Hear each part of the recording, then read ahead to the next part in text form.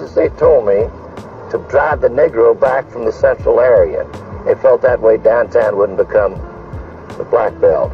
Uh, it was a childish idea because the streets are still open, and it, it was a cruel thing. And well, later, as you all know, urban renewal was called Negro removal by the Negroes and by the people who were sympathetic with them. And that's what it was. It almost always tore down the homes of black people or poor people. Good morning.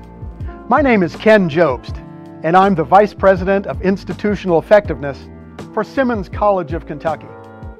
Today, I'd like to take a look at Simmons College of Kentucky in demographic context. Now, you may know that Louisville, Kentucky is the nation's fourth most racially segregated city. Cleveland, Ohio, Milwaukee, Wisconsin, Detroit, Michigan, and Louisville, Kentucky. Now, the thing that sets Louisville apart from those other cities is that Louisville has an HBCU, which is Simmons College of Kentucky. But Simmons operates in a context of a wider community characterized by some significant income and health disparities. Situated in the 40203 and 40210 zip codes, Simmons is in one of the poorest areas of one of the poorest states in the nation. Now, while Simmons draws students from over a dozen different states, many of our students come from neighborhoods right here in Louisville. Income disparities are particularly pronounced in the Louisville metropolitan statistical area. The 2019 median household income for the United States as a nation was just over $65,000. But the median household income for 40203 and 40210 is less than one third of that at about $20,000 annually.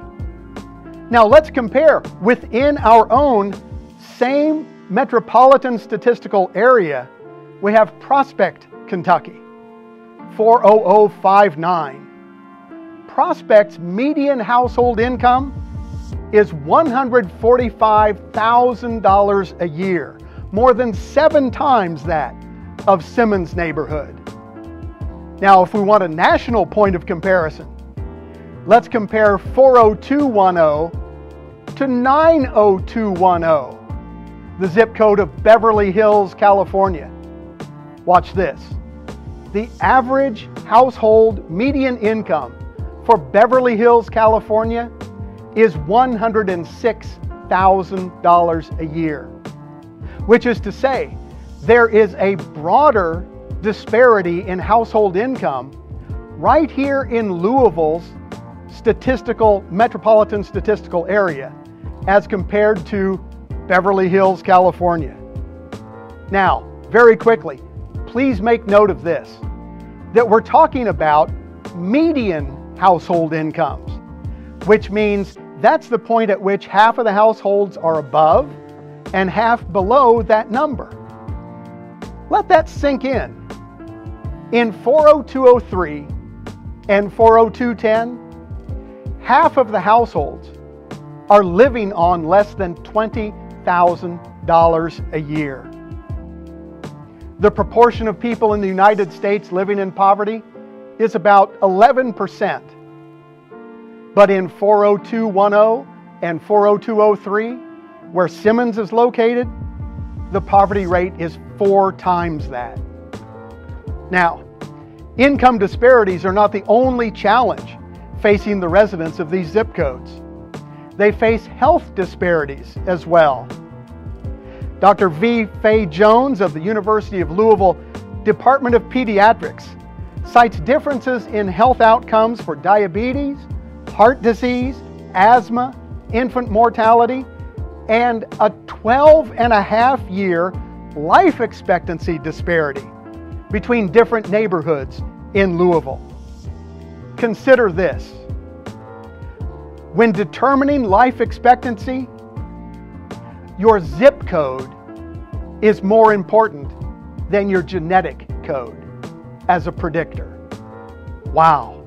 Now, what role does Simmons have in addressing these health inequities? According to the inaugural Louisville Metro Health Equity Report, educational attainment is one of the strongest predictors of income, and income is directly related to health.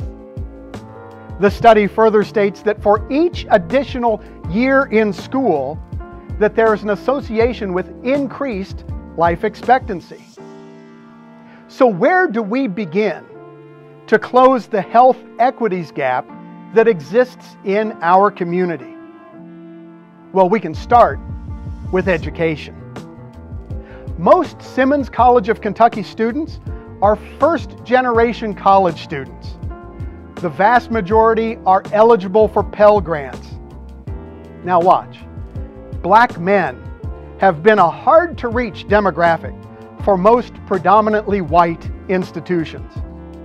Across the nation, in four year colleges and universities, only 4% of the student body is comprised of black male students. Black students nationwide are twice as likely to be female as male. But here at Simmons College of Kentucky, which, by the way, has been coeducational since its beginning over 140 years ago, 52% of the enrolled students are African American men, and 43% of our graduates are men. In other words, Simmons has 13 times the average proportion of black male students and graduates 11 times the average national proportion. Now, this demonstrates that the educational aspiration and dedication of black male students at Simmons is at a very exceptionally high level. According to the Georgetown University Center on Education and the Workforce, the median lifetime earnings for a person with a bachelor's degree is $2.3 million. Lifetime earnings for a worker with only a high school diploma amounts to $1.3 million. That means that college, a college degree, makes a million dollar difference in a person's life. And here at Simmons College of Kentucky, on commencement day, when our graduates receive their degrees and walk across the stage to shake hands with the president, President Cosby is delivering a million dollar handshake to each and every one of these graduates. So, how is it that we shorten the income gap? How is it that we do away with these health equity gaps? How is it that we can increase productivity and improve the quality of life in our community? It's by supporting Simmons College of Kentucky. Thank you so much. And I just to encourage you to come by and take a visit of our campus and support this gem that is hidden in plain sight here at Simmons. Have a great morning.